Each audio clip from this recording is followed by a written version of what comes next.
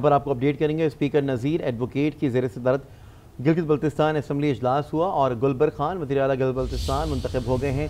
P T I हम ख्याल group ने असम्बली इजलास का बैकआउट किया। गुलबर खान वजी अला गिलगित बल्तिस्तान मुंतखब हो गए हैं। पी टी आई हम ख्याल ग्रुप का असम्बली इजलास का बाइकआउट पी टी आई हम ख्याल ग्रुप का कोई रुकन ऐवान में नहीं आया। इसी पर बात करेंगे। हमारे साथ मौजूद हमारे नुमाइंदे अब्दुलरहमान बुखारी। अब्दुलरहमान बुखारी, अपडेट कीजिएगा।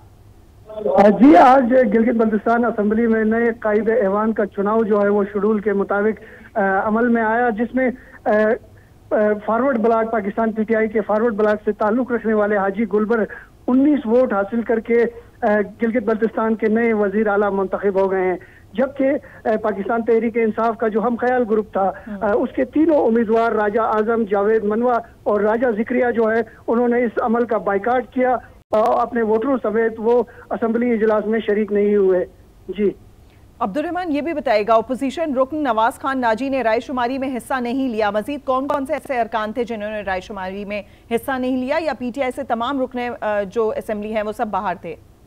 जी गिलगित बल्तिस्तान असम्बली के ऐवान के अंदर जो है अपोजिशन की नशस्तों पर नवाज़ खान नाजी जो बलावस्तान नेशनल फ्रंट से ताल्लुक रखते हैं हम्म। वो ऐवान में मौजूद थे लेकिन उन्होंने राय शुमारी में हिस्सा नहीं लिया।